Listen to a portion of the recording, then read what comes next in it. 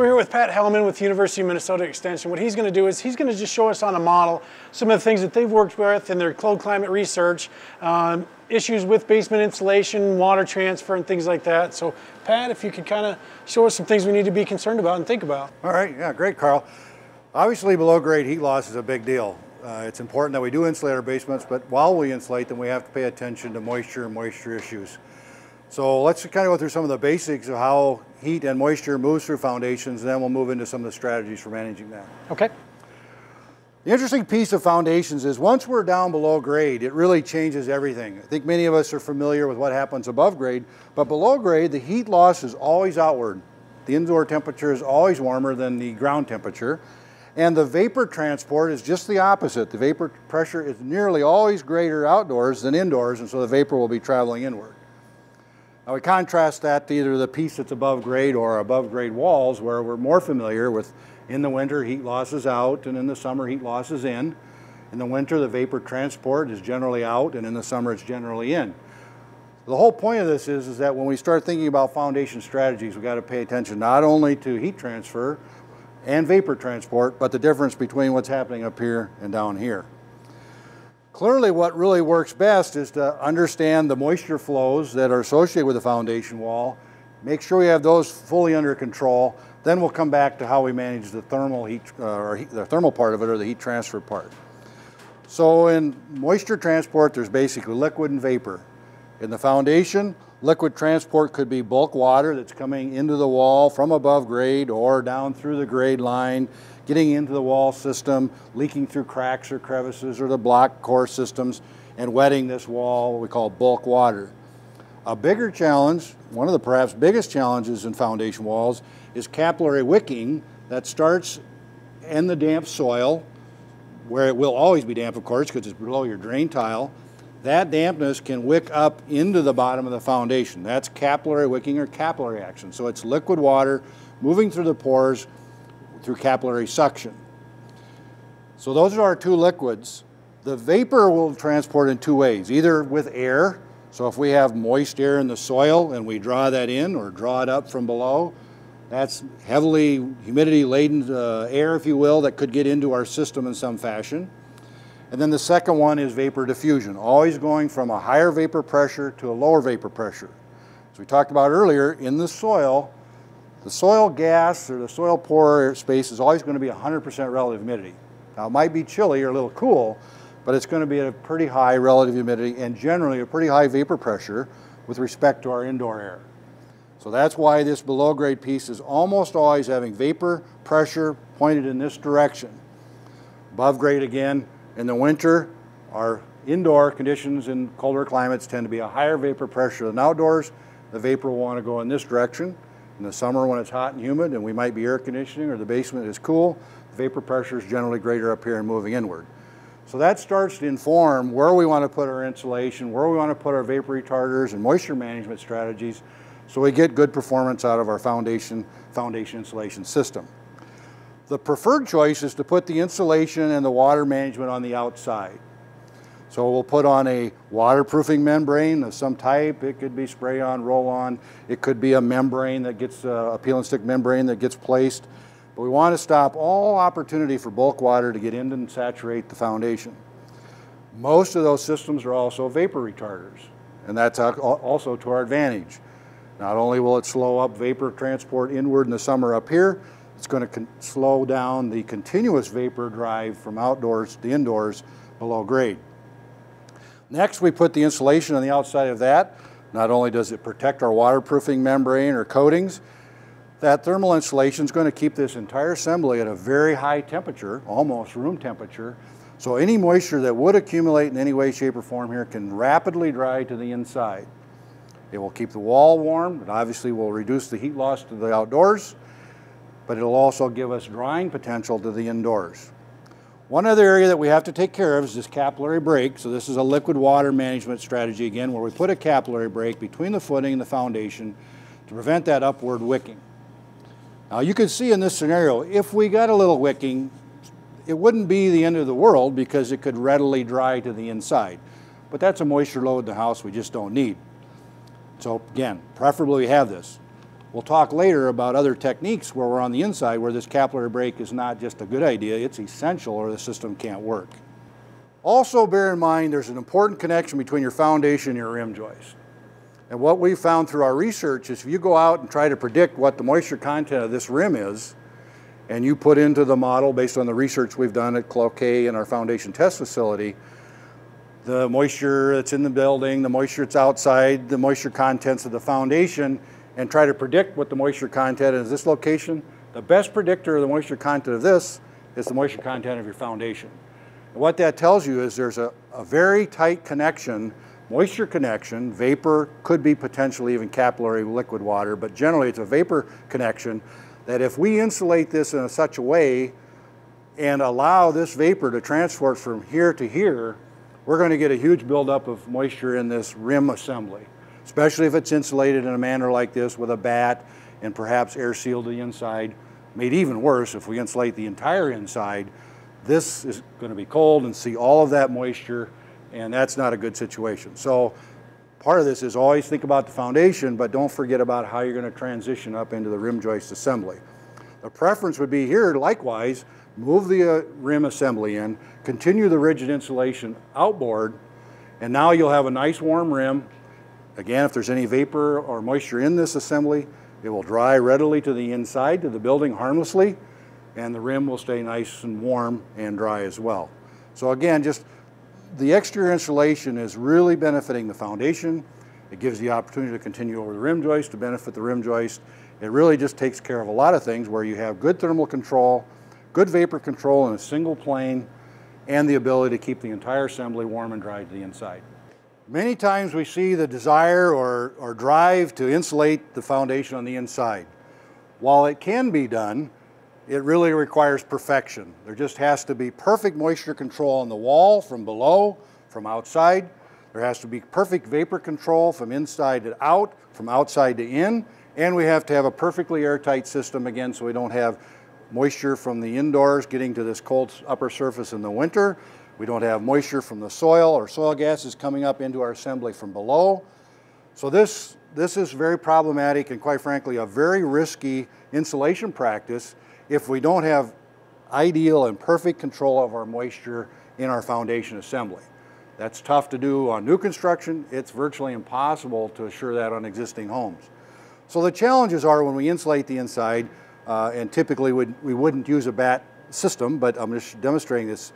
What happens is we have to stop the vapor transport outward to hit this cold surface in the winter, or we're going to have condensation buildup, of course, on the cold foundation. So we have to have a vapor retarder. We have to have an air barrier to prevent that from occurring. But as you recall down here, this vapor is always coming inboard. And it's coming inboard up here in the summer at a pretty rapid rate if it's wet from a rain or hot uh, sun driving on this wet foundation.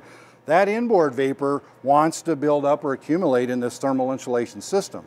So again, we would have to add to the backside some moisture management for the thermal insulation to prevent that moisture from coming in and collecting on the inboard surface, which is now our cool surface, in the summer. Made especially worse because of cool basements, or even worse with air conditioning, this becomes a cool collection surface. So this is a very problematic wall, requires protection on both sides, uh, and that's very, very challenging and difficult to do. Even more so challenging here is one could imagine if some reason you have a plumbing event, a toilet overflows, a washing hose uh, fails, or a sink plugs up, or a flood perhaps, or any water event that were to happen in the basement starts to wet this, this whole assembly has to be removed to get it dried out satisfactorily. Not only do you have to remove the wet insulation, you have to remove the assembly to dry out any wicking and water uptake that's been done by behind in the foundation. So it's another reason why this is risky because if something were to happen in the future, it could be a very expensive retrofit or replacement required to bring this system back, get it dried out, and, and come back with some, a, a new interior approach. So one of the thoughts is, are there ways to improve this interior to work? And there are ways, there are techniques that help. One that's been looked at is basically inserting a different type of insulation in behind this entire system. I just have a short piece here that would change the conditions here from a moisture perspective that would help this work better, again, from a durability or moisture management and it also would add some additional thermal insulation. So what this does here is a couple things. It starts to warm up the first condensing surface, gets it, moves it away from the cold foundation wall in the winter, this top side being cold, so that we have some protection against condensation in the winter. The second thing it does is it acts as its own vapor retarder so that any moisture that wants to come in above grade in the summer or down below grade virtually year round, this is going to slow that moisture transport up and prevent it from getting into your next insulation layer. This in sense would replace the back film that's on here to protect your insulation.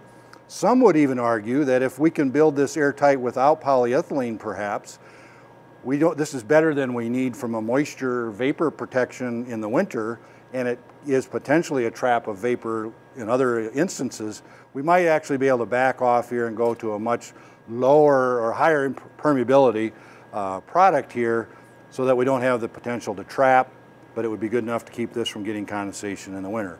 Again, a lot of nuances, a lot of things that have to happen just right for this to work, but it does have the potential to help this system a bit. One last little comment about this is what were to happen if we just took this away entirely and simply insulated with the rigid board? This is a common practice, people like it, it can work. I would just say the caveat here is this wall really has to be dry for this to be effective. At that point, then, this insulation, because of its thermal nature and its vapor properties, will slow down the outward vapor pressure, installed airtight, there won't be any air leakage behind it. We will prevent the house, if you will, from wetting the wall. If the wall's already dry, even though there'll still be some vapor transport or vapor drive to the indoors, especially below grade here, this is capable of slowing that up so that that vapor doesn't move on into the building, causing a building load or moisture potential on other surfaces here. Just bear in mind though, the one issue here is regardless how good we try, there is going to be moisture back here behind this system.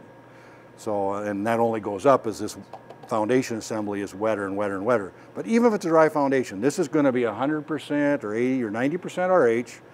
There will be occasions where condensation will occur or water might accumulate, bulk water could accumulate.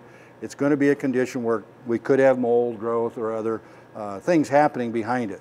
So in that event, what we have to do is seal the top so that vapor or any mold spores or anything can't get to the inside. And we have to carry this all the way to the floor and at the floor, we have to seal this joint.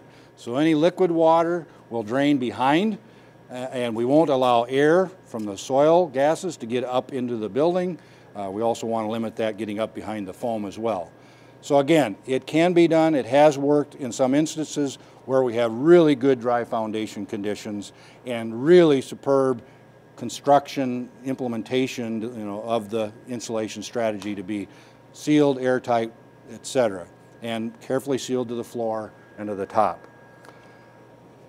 I think you can see the challenges with all these interior approaches. It's, it really just increases the risk of trapping moisture in the assembly, it increases the risk of mold growth, and it really points the way to why we started with the exterior insulation really is a much more robust, a much stronger approach.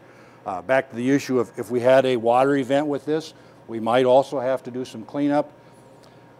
Uh, research uh, actually was in Canada on the Red River uh, when it, we've had several floods there. When they had exterior insulation after the Red River floods and the basement was severely wetted, they were able to come in and simply clean, you know, do the appropriate cleaning measures, put some drying capacity in the foundation. The foundation wall took a little while to dry the inboard and everything was fine and dandy and everything was ready to roll. But anybody who had interior insulation had to get that system out of the way, get everything cleaned up, get everything dried out. When they put it back, they stood a good chance that the soil was still saturated from the flood and it would re-wet, re-wet the system. So again, that interior insulation is not only difficult to manage in best of conditions, it's extremely difficult if there were to be a, a water or a flood event. Another critical issue in high performance buildings is making sure we have a good slab. Uh, this would be true if it's a slab on grade, could even be conceivably in a crawl space, but let's focus on a basement foundation slab, which is real common practice. We want a number of things to happen. First of all, if we think about our moisture transport mechanisms, we have the two liquids. We have bulk water that can tend to accumulate below grade. It could come up under your building due, a, due to a rising water table. Any number of things why this could get wet by gravity or bulk water. We want to have large aggregate. This is shown as a sand bed, but it really should be an aggregate bed that allows for a horizontal transport of liquid water to either our drain tile through a weep system or to our sump basket so that that liquid water can get into that basket and be drawn out of the system and we'll keep liquid water from getting up against our finished slab. That rock aggregate bed, again if it's half inch or three quarter aggregate, finally, uh, with all the fines removed, washed, clean aggregate, it also serves as a capillary break. You can't get capillary action in large pores. So now this three to four inch aggregate bed is giving us the potential to control bulk water and reduce capillary wicking up into our slab. The two vapor transport mechanisms were air leakage and diffusion. We don't want air coming from down here that's going to be saturated air coming with vapor and potentially radon and other things, other soil gases coming up into the building. So we're going to seal joints, any penetrations, cracks. We'll have a sump here that is shown to be entirely sealed so that there's no way that air from down here can get into your home. That's really, really important. It's one of the main things we need to accomplish to get good moisture control and radon control below grade. The last vapor is diffusion. This is always wet at a high, very, very high vapor pressure relative to the building, and the vapor wants to come up into the building, in through the concrete, and into your home. By putting a vapor retarder under here, we will reduce the flow of that vapor up into the slab and ultimately protect the house from undue uh, moisture loads uh, or high indoor humidity in the basement. The last thing we really want to do is to get a thermal protection between our house and this cold soil. So in almost all cases, we'd always recommend some level of insulation. A little bit provides thermal comfort and thermal control on the slab. You might put more than this in there if you want to get higher performance. Or if you have in-floor heating or some other element, you would actually go to even thicker insulation. Because what you want to do is you want this slab to think it's in your house, not connected to the, to the cold soil. So that's the purpose of this thermal insulation is to isolate you from the cold soil, warm up the slab. That will keep the slab, warmer is always drier, so a warm slab is always going to be a drier slab. While we never recommend putting carpet on a slab, it's just not a good idea because it tends to make the slab colder. Less heat from the house will get to the slab. A colder slab is a, is a wetter slab. It doesn't have the ability to get enough heat to keep it dry or to evaporate any moisture that might accumulate. So we don't recommend carpet on slabs ever. But clearly, if you're even to entertain the thought of throw rugs and some things like that, putting this insulation underneath, isolating this slab from the soil, warming it up, would give you the ability to put on, you know, a, a occasional area rug or something like that. You could put cardboard boxes on the slab, even though that's not a good idea. You can put things down here and expect it to remain warm and dry and not end up with a moisture or mold problem. So these are really just very basic elements that any slab can do. It's not expensive, not challenging, as long as you understand the, the physics behind it. Really slick, click, uh, clear, easy guidelines to follow to end up with a basement slab that's going to be warm, dry, and healthy. All right, one of the critical issues here really is thinking about when you're picking a foundation insulation strategy is the cost. And clearly there's been some resistance to go to exterior systems because they at first appear to be more costly. Well, keep in mind, a wall really should be waterproofed in the first place, even though in the past we have used damp proofing or less expensive means. They really all should have waterproofing. So that cost really can't be associated with the exterior approach because you would need it for the interior as well. The cost of the insulation is certainly there. These tend to be, whether it's a rigid fiberglass uh, drainage board or a foam, uh, extruded polystyrene foam board, some of these have drainage built into them as well. Those materials undoubtedly will be more expensive thermal insulation than let's say a fiberglass batt. The real concern with above grade has been how to get the transition and cover this appropriately from physical abuse. So I'd say for a builder, that's the number one issue is how to make this transition. And today we really have good techniques to cover this easily uh, on, on either a flat, full basement or even with a sloped grade. Uh, we can come down, insulate down with inlet furring strips, put on a protective coating that looks nice and is attractive and will protect the insulation uh, into grade. So that technique now has been pretty well developed, recognized, it works. It adds a little cost, adds a little bit of labor to do that, adds a little bit of forethought as to how you're going to bring that on down from the siding uh, through to your a foot or so below grade. But let's think about the flip side of this. That does sound expensive and there's some sequencing issues. What we're comparing it to is an interior solution often that really doesn't work. It's very, very labor intensive to make that system actually work from a thermal and a moisture perspective. And it has higher risk of failure, condensation buildup, or if there's a bulk water problem, or uh, we have a water event or a flood, that's going to be an incredibly system to undo or fix. So I think in the end, if, if you think beyond just the cost of the thermal insulation, this versus a batt, and think about the entire system cost, that batt's actually quite expensive to get installed properly and has these higher potential for callbacks or other risk associated with it. So in the end, I think the thermal insulation isn't even that big of issue. One of the last remaining things is most people like to finish their basement or have a finished look to their basement and they want to put drywall. That's why the interior system frequently is used, is people can visualize putting drywall up there and having a finished space. But in reality, this system can be finished just as easy or faster by simply adding framing. You've got room for your wall outlets, putting a paperless drywall surface on the inside, holding it up three quarters to an inch off the, off the floor to reduce any capillary wicking. By using paperless, we've taken away some of the potential for mold growth. Leave that wall entirely open. There's, there's no need to insulate it or put any additional vapor retarders or anything like that. Put it with a semi uh, flat latex paint, which means it can dry, and you'll end up with a finished looking basement with a very low cost.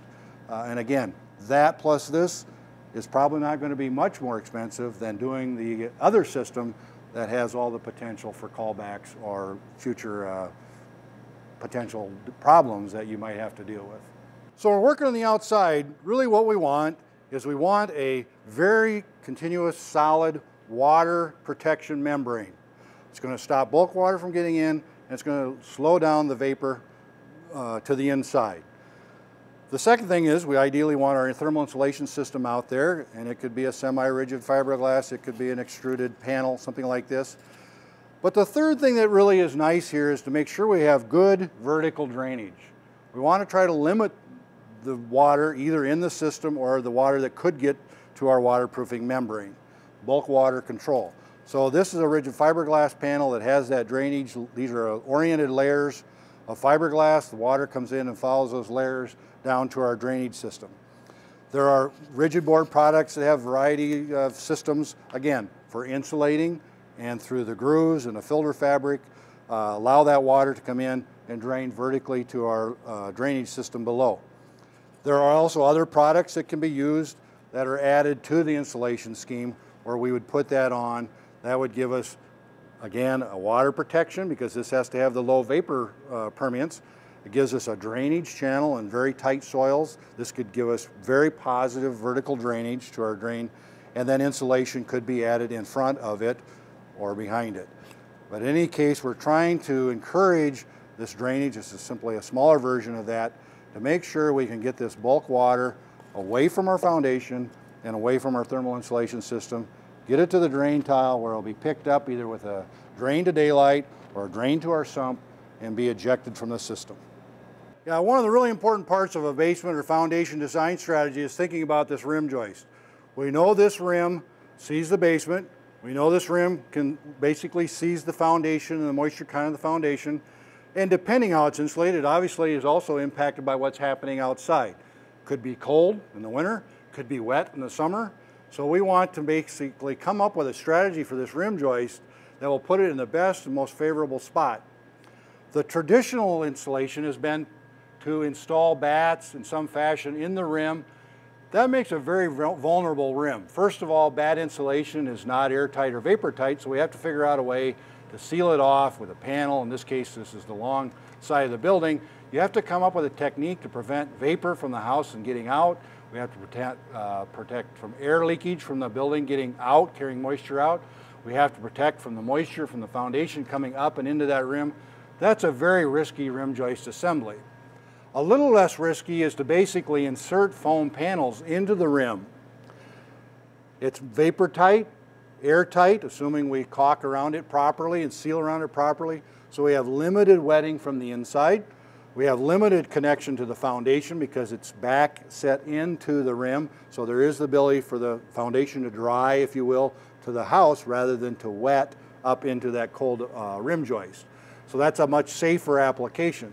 But even safer yet is to move around and put the insulation on the outside of the rim so that again, now the rim is indoors, it's running warm, it's running dry, it's thermally isolated from the outdoors.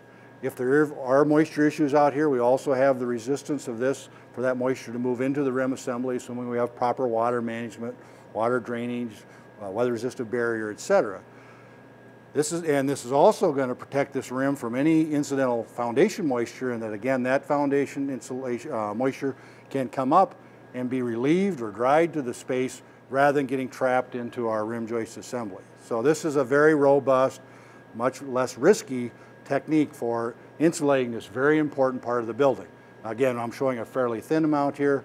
Most rim assemblies you'd want to be at least to an R10, two inches of XPS, or perhaps two inches of a, a polyiso would get you up to an R15.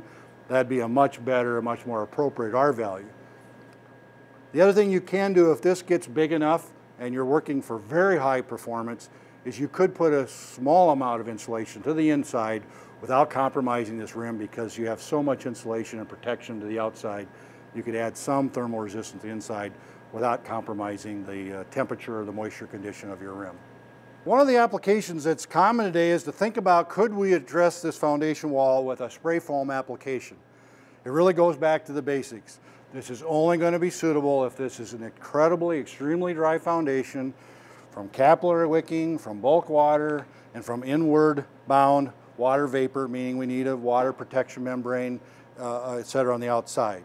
Assuming this is really dry, it is possible to spray foam up that wall and another advantage, presumably, is that you could wrap up over the top of the wall and into the rim joist and you get a continuous thermal insulation and a continuous air barrier and a material that is manipulating or slowing the vapor to some extent. While theoretically all possible, there's some real challenges to this. There's, we have to worry about bonds to the foundation wall. We have to obviously worry about the, how dry the foundation really is. And what can happen here is if that foundation isn't in fact dry enough, all of that moisture that's behind the insulation now in a very cold and damp condition, uh, uh, not enough energy moving through the insulation to move it into its vapor state and into a drying condition, is that moisture can move upward some will probably go out above grade, but we have the risk of that moisture being pushed up and accumulating in the rim joist itself. Uh, and so that's a, that's a concern. And, and uh, I'm not saying that spray foam interior application might not work. We just have to be very, very concerned about the details. Uh, one of the details is this break right here. If in fact this could be lifted up, capillary break could be inserted, uh, a moisture break if you will, that would prevent the moisture that's here from migrating up into the rim assembly. But that's an expensive proposition on an existing home, and even for new construction, it takes an extra step. So I think it's just fair to say, again, it has many of the same concerns that interior insulation has uh, regarding how wet this foundation is and what's going to happen over time with the foundation condition.